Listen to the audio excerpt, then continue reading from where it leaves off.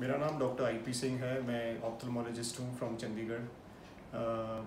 Twenty first को सूर्य ग्रहण लगने वाला है, जिसको हम सोलर इक्लिप्स के नाम से भी जानते हैं। This information is very important specially for children आपको कोशिश ये करनी है कि ट्वेंटी फ़र्स्ट को बच्चों को बाहर ना जाने दें सूर्य ग्रहण के वो ना देखने दें। उसका एक कारण है वेरी इंपॉर्टेंट रीज़न सूर्य ग्रहण होता क्या है कि basically the moon is going around the earth and at one point वो जो मून है वो सन के आगे आ जाएगा, जिसकी वजह से सन पूरा नहीं दिखाई देगा।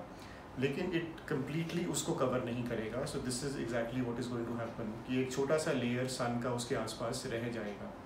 वॉट विल हैपन इज़ कि ये जो रेडिएशन अब सन की निकलेंगी these will be focused this will be very very strong radiation एक सेकंड के लिए भी अगर बच्चे या कोई और भी इसको देख लेगा तो ये मैकुला को बर्न कर देगा। ना what is a macula retina के अंदर जो सबसे सेंसिटिव एरिया है उसको मैकुला बोलते हैं। ये रेडिएशन जब मैकुला पे पड़ेंगी तो उसको लाइफ लॉन्ग मैकुलर बर्न कर देंगी। सो so, अगर कोशिश ये रहनी चाहिए कि बच्चों को बाहर नहीं जाना चाहिए absolutely from nine A M in the morning to around three P M सुबह नौ से तीन बजे तक। अगर आप लोगों को भी, हमें भी किसी को भी बाहर जाना है तो एक तो सनस्क्रीन ज़रूर लगाइए keep your body covered and UV protection goggle ज़रूर डालिए।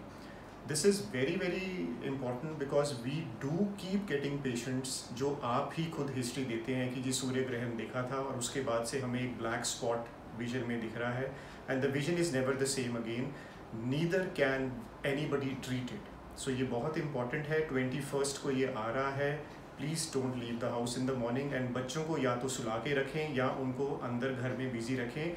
कर्टन्स कर दीजिए टीवी देख सकते हैं, लेकिन बाहर सूर्य में नहीं जाना है। Thank you